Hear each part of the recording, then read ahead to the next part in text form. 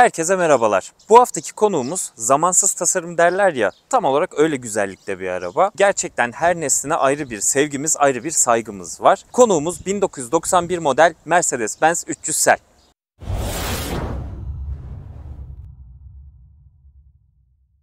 Başlamadan önce şunu net bir şekilde belirtmek gerekir ki bu arabalar gerçekten yaşayan efsaneler.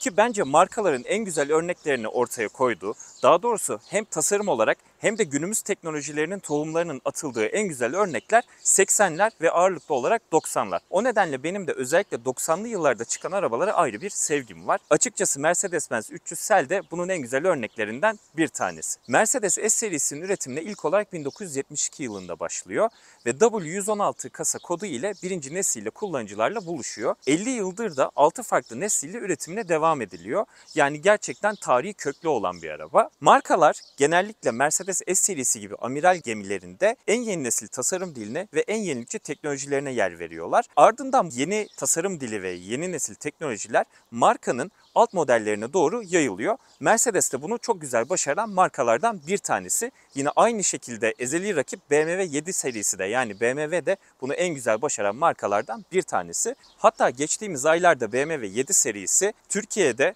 otomotiv sektörünün Oscar ödülü olarak sayılan yılın otomobili ödülünde yılın inovasyon ödülüne sahip oldu. Buradan hem BMW'yi hem de marka yetkililerini de kutluyor olalım. Peki gelelim 300 sele. 300 sel W126 kasanın son örneklerinden bir tanesi. Zaten sonrasında da W140 kasa çıkıyor. Burada yalnız şöyle bir kafa karışıklığı olmasın o konuyla ilgili de sizleri bilgilendiriyor olalım. Bazı S'lerin kasa kodları V ile bazıları da W ile başlıyor. Bunun sebebi W ile başladığında short yani kısa kasanın olduğu anlamına geliyor. V ile başlayan model kodları da uzun yani long olduğu anlamına geliyor. Şu an yanında durduğum 300 sel de aslında V126 çünkü aracımız long kasa. Hatta yine 126 kasada C ile başladığında da yani kupe anlamına geliyor. Bunlarda da 560 sek gibi araçlar karşımıza çıkıyor. W126 kasanın tasarımında da yine her güzel tasarımın arkasında olduğu gibi Bruno Sacco karşımıza çıkıyor. Bruno Sacco, Mercedes-Benz'in 1978 yılında styling bölüm başkanlığına getiriliyor ve W126 kasa da Bruno Sacco'nun kendi başına yaptığı aslında başkanlığında kendi başına üstlendiği ilk projesi oluyor. O nedenle de bütün röportajlarında W126 kasanın kendisi için yerinin her zaman ayrı olduğunu belirtir. Dilerseniz şimdi aracın dış tasarımını inceleyelim. Bakalım aracın dış tasarımında bizleri neler bekliyor. Aracın ön taraftaki tasarımına bakacak olursak bizleri ilk olarak Mercedes'in 90'lı yıllardan görmeye alışık olduğumuz büyük krom ızgarası karşılıyor. Hemen üstünde de yıldızımız konumlandırılmış. Açıkçası araç kullanırken bu yıldızı böyle kaputun üstünde görmek ve seyretmek gerçekten inanılmaz bir keyif. Gerçekten tarif edilemez. Hemen ızgaranın yanında da dikdörtgen tasarım formunda farlarımız konumlandırılmış. Yan tarafında da turuncu sinyallerimiz var. Buranın altında da tamponumuz var. Tamponda böyle çok girinti çıkıntı yok. Sınıfına uygun bir şekilde uygun bir tasarımda. Üstü de böyle kromla desteklenmiş. Gerçekten çok şık. Yan tarafa geçtiğimizde ise bizleri 195 65 15 ebatında böyle köfte yanak lastiklerimiz karşılıyor. Bu arada aracın jantları orijinal fabrika çıkış jantları. Bu araca da çok yakıştığını söyleyebiliriz. Bu arada videonun başında bahsetmiştim aracımız long. Long olduğu için de hemen uzunluk ölçülerini sizlere söyleyeyim. Aracımızın uzunluğu 5.16 santimetre genişliği 1.82 santimetre ve yüksekliği de 1.44 santimetre. Yani gerçekten uzun ve böyle devasa bir araba günümüz böyle arabalarına göre. Yine camlarda da ön tarafta olduğu gibi krom parçalara yer verilmiş. Bu da ön taraftaki o krom kullanılan tasarım dilini tamamlar nitelikte olmuş. Arka tarafa geçtiğimizde ise Arka tarafta bizleri yine ön taraftaki tasarım diline uygun olacak şekilde ince dikdörtgen tasarım formunda stoplarımız karşılıyor. Hemen ortaya da krom bir bagaj tutamağı konumlandırılmış. Bu arada bagajımız 510 litre. O da zaten bu araç için beklentileri oldukça karşılar şekilde. Şöyle bagajını da gösterelim.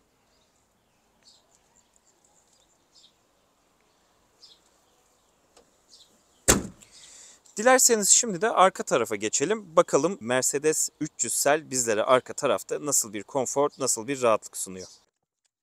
Evet arka tarafa bindiğimizde gerçekten inanılmaz bir rahatlık var arabada. Zaten koltuklar böyle yaylı gibi olduğu için inanılmaz rahat. Yani gerçekten hani o S serisinin rahatlığını Böyle arkaya bindiğinizde çok iyi hissediyorsunuz. Bu arada arka tarafta burada bir klima menfezimiz var. Buradan derecesi de ayarlanabiliyor ki daha 91 yılında böyle bir teknoloji varken günümüz teknolojisinde bu özelliğin diğer arabalarda olmaması açıkçası artık yorum sizin. Burada koltuk ısıtmamız var arka tarafta. Zaten deri araçlarda kışın bence olmazsa olmaz. Güzel bir kol dayamamız konumlandırılmış. Yine burada arka koltukların ileri ve geri gitmesini sağlayan bir tane butonumuz var. Onu da böyle zaten bastığınızda koltukları yatırıyor olabildiğince. Bu en sonunda böyle bunda en böyle ileri iterek keyifli bir şekilde seyahatinizi gerçekleştirebiliyorsunuz. Burada yine bir kül tablamız var. Bu dönemdeki zaten bütün arabalarda genellikle oluyordu bu tarz böyle premium oynayan arabalarda. Bu arada şunu bir tık böyle itelim. Böyle daha rahat. Burada da koltuğun arkasında eşya gözümüz var. Oldukça rahat diyebilirim. Gerçekten hani 91 model bir araba ama size inanılmaz bir rahatlık sunuyor arka tarafta. Bunu da zaten ilk bindiğiniz andan itibaren hissediyorsunuz. Buradaki böyle ahşap kaplamalar, koltuğun hareket ediyor olması, klima menfezi, kol dayaması gerçekten sizi arkada ayrı ve özel hissettiriyor. Ha bu arada unuttuğum bir özellik var. Burada da okuma lambalarımız var. Okuma lamban çalışmıyor Olcan. Çalışmıyor oğlum. Yok. Dilerseniz şimdi ön tarafa geçelim. Aracın konfor özellikleri ve güvenlik özelliklerinden bahsedelim. Ardından da Olcan'la birlikte aracı bir sürüşte incelemeye çıkıyor olacağız. Bakalım 300 sel bizlere nasıl bir güç sunuyor. Araca ilk bindiğiniz andan itibaren gerçekten böyle premium bir tasarım sizleri karşılıyor. Bu da nasıl? Aracın konsolun üstü tamamen deri kaplı. Burada çok güzel bir hız göstergemiz var. İşte ekonomi göstergesi, yağ basıncı, saatimiz ve hız göstergesi, devir göstergesi oldukça şık. Videonun başında da söylemiştim. W126 böyle birçok konfor ve güvenlik donanımına öncülük eden arabalardan bir tanesi. Konfor özelliklerinde bizlere neler karşılıyor onlardan biraz bahsedelim. Elektrikli dikiz aynaları, 4 cam otomatik, elektrikli koltuklar, koltuk ısıtma, klima, hidrolik direksiyon gibi birçok özellik karşılıyor. Bu araçlarda sunroof ve far yıkama da oluyor ama bu aracımızda sunroof ve far yıkama yok. Zaten o dönemde aslında böyle karışık bir opsiyon listesi varmış. Güvenlik donanımı olarak da yine bu araçta sürücü tarafında airbag var, yolcu tarafında yok ve ABS'miz var. Aslında dönemine göre gayet güzel özelliklere hem konfor hem güvenlik özelliklerine sahip araba diyebiliriz. Dilerseniz şimdi de sürüşe geçelim. Olcan hoş geldin. Hoş bulduk kardeşim. Uzun bir aradan sonra yine birlikteyiz. Evet beraberiz. Beraberiz. Bu Çok sefer şükür. senin arabanla birlikteyiz. Evet benim arabam yeni bir araba. Hayırlı olsun. Teşekkür ederim. Biz tabi Bruno Sakko aşığı bir insan olarak bizim hayallerimiz 124, 126 ve 140. Hoş gerçi sen R129 da çok seversin Esel. Severiz abi aynen. Çok Esel, seversin. Esel'i çok seviyorum. Gerçekten, çok çok, çok seviyorum. yani bana kalırsa tasarım dünyasının, araba tasarım dünyasının en büyük isimlerinden bir tanesi Bruno Sakko. Benim için Kesinlikle. en büyüğü ama tabii ki Cicaro vardır. Hani işte Pininfarina vardır. Hani onları Aynen. tabii daha çok belki insanların onların çizgisi onlara daha çok hitap eder ama bana bunun çizgisi çok daha fazla hitap ediyor. Kesinlikle. Yani hala yani videonun başında da söyledim. Yani gerçekten zamansız tasarım. Yani Bruno Sacco'nun yaptığı arabalar günümüzde bile hala seviliyor ve her nesil tarafından seviliyor. Abi şöyle her düşün. nesil tarafından merak Ee, ediliyor. Bu araç aslında 44 senelik bir araç. Evet. Yani bu aracın ilk trafiğe çıkışı 79 yılı. Aynen. Yani Bu da 85 son örnekleri. Tabii bu son örneklerinden 92'de hatta 91'in sonunda 140 kasa 300 sel olarak çıkmaya başladı biliyorsun. Aynen. Ama bu araçta 91 modelin sonlarında çıkanlardan. Yani 44 senelik bir araç işte biliyorsun 85 yılında bir facelift operasyonu diyebileceğimiz Ufak bir bir operasyon makyaj. geliştirdi. Evet motorlar değişti. Mesela 300 yoktur 85 öncesinde. 6 silindirli bu arada. 6 silindirli. 188 beygir araba. Evet 6 silindirli bir makine var üzerinde. Güzel bir motor. Yani tabii ne beklediğine göre değişir. Daha önce Jaguar testinde de aynısını söylemiştim. Kesinlikle. Kendini kaldırıyor mu? Kaldırıyor. Çok Gidiyor mu? kaldırıyor. Aynen. Gidiyor. Ee, Yani bu arabada da zaten ha, tabii ki 500 olsa, 560 olsa veya 420 Aynen. olsa yani 8 silindire kendini upgrade ettiğin zaman çok daha tatlı bir makineyle karşı karşıya kalıyoruz. Bu arada şöyle bir şey var. Araba 1600 kilo zaten. Yani günümüzün teknolojisindeki arabalar zaten genellikle hep böyle 1200, 1300 işte hatta 1500'e yakın arabalar var. Aslında onları düşündüğünde ağırlığı çok normal. Hatta böyle kilo beygir dağılımı da e, oldukça aslında başarılı. Ki araba gidiyor. Yani 6 silindir zaten. Abi Ciğer var. 30, 30 32 yaşında bir arabadan bahsediyoruz. Tabii. Yani 188 beygir diyorsun. Bunun zaten kaç ta kaçı kalmış olabilir? Yani motor performans sana kaçta kaçı verebilir? Aynen. Benim için önemli olan arabayı yürütüyor mu? Yürütüyor. Bitti. Tabii. Yani Bitti. bunun bu arabanın tek handikapı sadece şanzımanı. 4 ileri olması.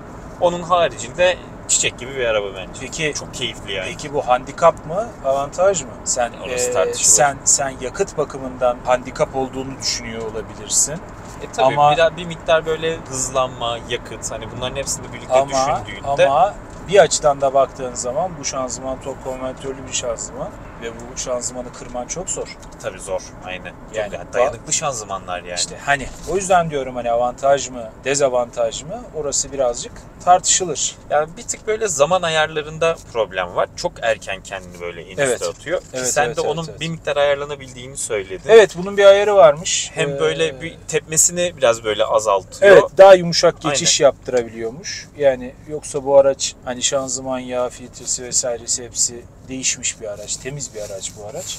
Ha, tek araç Güzel olarak kullanılır, kullanılır mı? Tek araç olarak bu araç kullanılmaz. Ya bence de Bu araç artık çok e, gündeliğe değil. çok gündeliğe değil. Bu araç tam bir hafta sonu aracı. Ben de çok kullanmıyorum zaten biliyorsun. Ama hani hafta sonu aracı olarak gerçekten bu araç Keyif. çok tatlı bir araç. Ha, bir de az önce de yani hep konuşuyoruz işte zamansız olması. İnsanların gözünde bu araç ben bu aracı alırken bu aracın bu kadar popüler olacağını düşünmüyorum. Seninle gittiğimiz yerlerde bile yani böyle birkaç defa hani bu arabayla bir yere birlikte gittik seninle. Her gittiğimiz yerde gerçekten böyle ilgi odağı oluyor. Yani orada işte oturanlardan ya da sokaktan geçene tut valesine kadar bile hani herkes hemen böyle dükkanın valede mesela hemen en önünü açıyor araba. Abi bir araba saygı görür mü? Görüyor ya.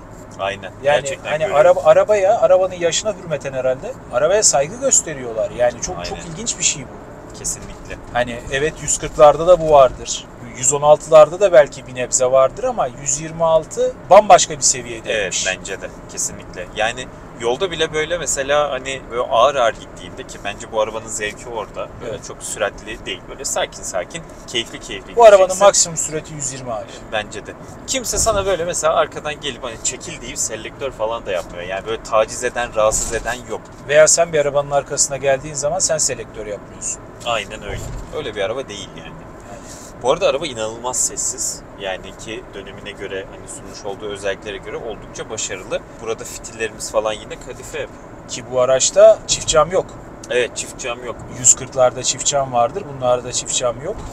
Kadife deyince bir şey geldi aklıma. Mesela bana kalırsa bazı insanların beğenisi tabii başka olabilir ama benim için bu arabanın makbulü kadifedir. Evet aynen öyle. Yani bu araçların makbulü bana göre kadifedir. Şey mi söylüyorsun koltuk olarak? Koltuk olarak söylüyorum. Aynen. Bu arada benim oturduğum yerde bunun çok güzel bir örneği var. Sana bahsetmiştim. Evet. Onun koltukları kadife ve hani böyle kirlenmesin, temiz kalsın falan diye böyle hatta naylonla falan böyle kaplamışlar. Araba çok güzel bir örneği. Mesela deri koltukların arka tarafındaki cepler var ya Evet. onlar deri. Kadifelerde onlar şeydir, filedir. File. Evet, kadifede onlar filedir. Artık öyle günümüzde çok kadife böyle koltuk falan kalmadı ama o kadife koltuğun keyfi, zevki inanılmaz rahatlığı. Abi, yani şey, kadifeler çoğunlukla daha pahalı olur zaten. tabii tabii. Yani Amerika pazarında vesairesinde hani kadifeler hep daha makbuldür. Aynen abi. E zaten kadife yani hani geçmiş böyle 90'larda kadife kaplı olan böyle koltuklar, donanımlar hep böyle üst seviyelerde, Evet. üst donanımlarda. Evet, Böyle alt donanımlarda böyle kadife kaplamaları falan çok fazla göremiyorsun. evet. Günümüzde de artık kadifenin yerini biraz böyle alakantra koltuklar falan aldı. Yani aynı değil, tadı da E vermez. tabii ki aynı tat değil abi. Vermez yani. Ama deri de her zaman deri. Deri, Onun da ağırlığı farklı. deri her zaman deri de işte Mayıs ayının ortasından itibaren Evet, deriyi yanıyoruz. görüyorsun baba. Yani hani Eylül ayının ortasına kadar görüyorsun deriyi. Aynen abi. Yani bunda soğutma yok. Belki soğutma olsa bize de deri tatlı gelir ama Aynen. hani maalesef öyle bir şeyimiz yok. Bu arada yine araç telefonumuz var Mens'in. Ve burada çok güzel duruyor. Yani tam bu da bir klasik. Abi seviyoruz bunları ya. Aynen. Yani bu ya bu tarz detayları seviyoruz. Yani biliyorsun sağ taraf elektriklidir. Sol taraf manueldir bunun aynası. Aynen. Hani eski usul ama sağ taraf elektrikli. Elektrikli. E, işte dört koltuk ısıtması var bunda. Arka koltuğun hareketini çektin. Aynen. Ya, ya o zamanın da S-Class'ı bu yani. Kesinlikle abi. Hani e, Sonderklasse diye boşuna demiyorlar bu arabaya. Ya Zaten videonun başında da ben ondan da bahsetmiştim. Bu tarz arabalar her zaman markaların yani amiral gemiler markaların yeni tasarım diline, yeni teknolojilerine her zaman öncülük etmiş. Ve alta doğru da hep böyle yayılarak gitmiş. Gerek güvenlik donanımları olsun, gerek kullanılan teknolojiler olsun. Her zaman böyle olmuş. Senin bu konuyla alakalı düşünceni bildiğim için çok rahatlıkla konuşacağım. Arabalar ikiye ayrılır abi. Mercedes ve diğerleri.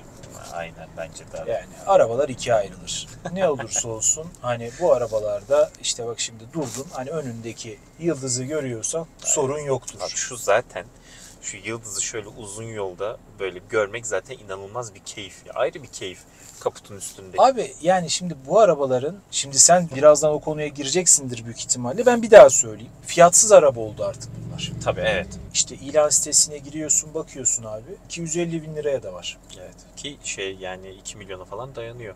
Geçiyordur hatta. Ee, abi 4 milyon 250 bin liraya bir tane ilan var. Vardır abi. 5000 kilometrede ilk seri. Gerçekten çok güzel bir araba ama Güzel örnek. 4 milyon 250 bin lira verilir mi? Veren çıkar mı? Bence çıkmaz. Yani evet.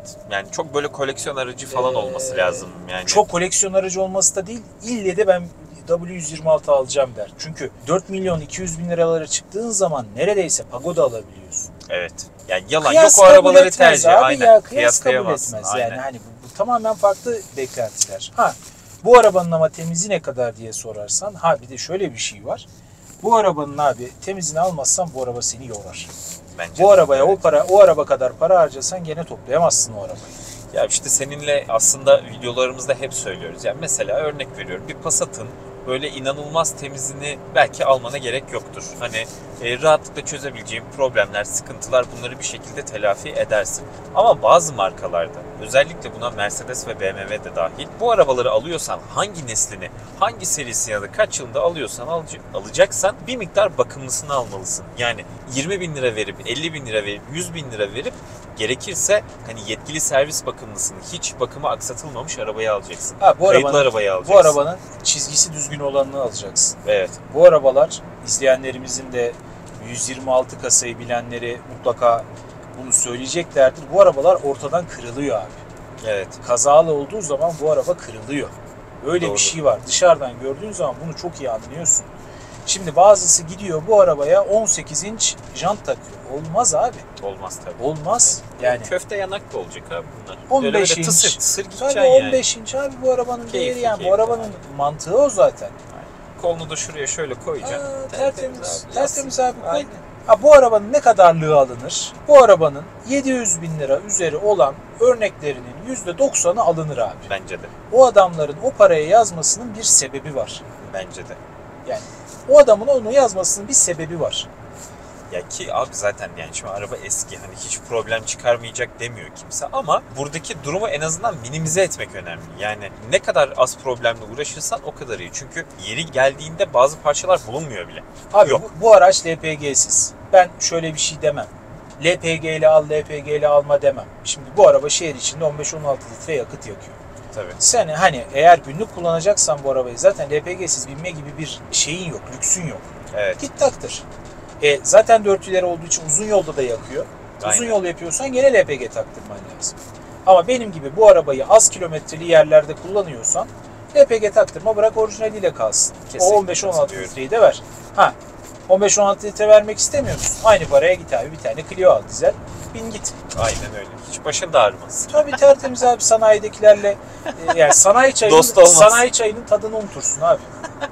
Şimdi biz sanayi çayını... Bu da unutturuyor ya. Abi yok abi unutturmuyor. Gerçi yok baba. aldığından beri bir mücadele ettin ama ufak tefek ya. Böyle çok ufak problemler yani. Abi- o da senin titiz olmandan kaynaklı. Abi yani e, bu arabaya orijinal binilir. Ben Tabii. bu arabanın biliyorsun işte radyosunu değiştirdim, bilmem nesini Aynen. yaptım, zart yaptım, zurt yaptım. Hani yaparsın ama ama hani bu benim şeyimden kaynaklanan bir şey. Titizliğimden dediğim Ya, gibi kaynaklanan. Ben şeyi kabul etmiyorum. Sen de öylesin. Zaten bunları o yüzden yaptım. Abi mesela insanlar o şekilde biniyor arabaya. İşte mesela şuradaki bir özelliği çalışmasa da olur. Yani mesela benim mantığımda öyle bir şey yok abi. Sen bu arabaya biniyorsan bu araba yerli yerinde tam özellikleri çalışacak abi. Ve sen de arabayı aldığından beri aslında bunun için mücadele Evet. ettin. Yani bütün özelliklerinin doğru ve sağlıklı bir şekilde çalışabilmesi için ki çok böyle az ufak tefek bir şey vardı. Onu da zaten yarım saat, bir saatlik işlerle rahatlıkla hallettin. Abi sadece şunu söyleyebilirim. Mercedes'in elektrikçisinin çayı mekanikçisinden daha güzel. Çaylar da biliyorsun servisten servise değişir. Ama akraba oluyorsun. İnsanlarla akraba da ol. Yani herkesin bir ustası zaman olması lazım. gerekiyor. Günümüzde bir buçuk milyonun altına el yüzü düzgün bir araba bulmanın çok imkanlı olmadığı Aynen. bir günde sen sanayiyle ister istemez bugün veya yarın tanışacaksın. Ha, bizim Aynen. tanışıklığımız çok eskiye dayanıyor. Niye de eskiye dayanıyor? Biz daha önceki senin videolarında söyledim. Biz abidik gubidik araba seviyoruz. Hani biz bir sorunsuz araba, sorunsuz araba bize sorunlu. Sana sorun. Ha, Sana bana sorun sorunlu. çıkar. Sen, sana, sen, sen sevmezsin. Abi yok ben sorunda ya ben ya mesela bu araba benim olsun çok isterim. Ama bu araba benim olsa mesela benim uykularım kaçar. Yani bu araba ne bu edemem. araba ne biliyor musun abi? Bu araba herkesin istediği, kimsenin sahip olmaya yemediği bir araba.